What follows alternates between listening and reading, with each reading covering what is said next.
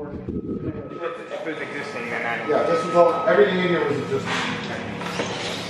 Now, the, the landlord was under the impression that I'm walling this door off, and that's not on your plans for me to wall off. No, So, it, it wasn't.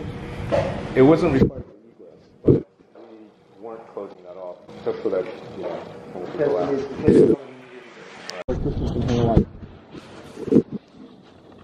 My electrician's job hang a light. You get them hung a wire. So, we literally have all but maybe the back row of lights up. That's when inspector comes in, my guys hanging the last row of lights. Threw away. So, He's there for his job. They're hanging the lights. They can't hang light.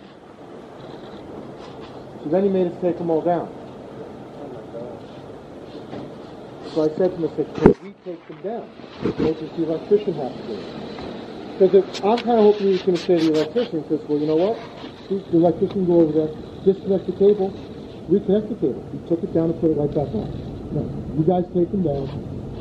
Then he came back and took pictures to make sure that we took them down. And then he said, okay, the electricians can put them up. Then my guys assist the electrician. Well, what do you mean by assist? Well, somebody's got to hand the light up to the guy in the lift. Your guys can do that. Okay. Then he comes back and to his. One other rough inspection that he had to do. Me aside and says, you know, I really wasn't trying to bust your balls that day. Look, told me that's what you wanted. You're the guy in charge. I got to follow your directions.